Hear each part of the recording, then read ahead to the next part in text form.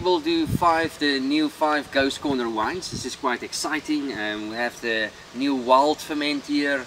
That was also one of the Platter 5 stars last year. We've got the new The Bowline, which is a blend of Sauvignon Blanc and um, Semillon. That was also luckily a Platter 5 star. And this is more the work of Alex. He's doing a great job there.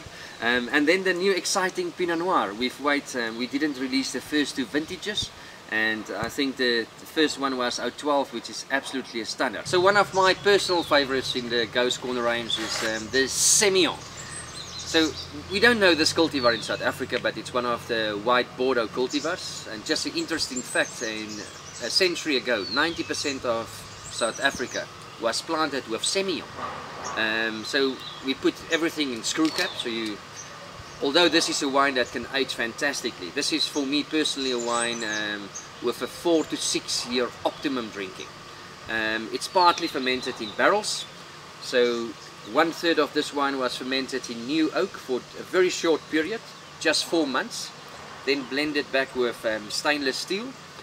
We keep it a year in bottle before release. Um, Tammy.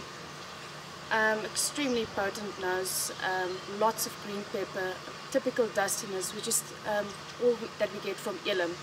When the grapes arrive and that juice, when you smell that juice, it's just that dustiness, and then you know this is a good Semillon year. Um, this is a wine to age, beautiful palate, nice crisp acidity, um, and will be wonderfully paired with creamy dishes as well, chicken dishes and, and seafood. It's one of those wines, or you love it or you hate it.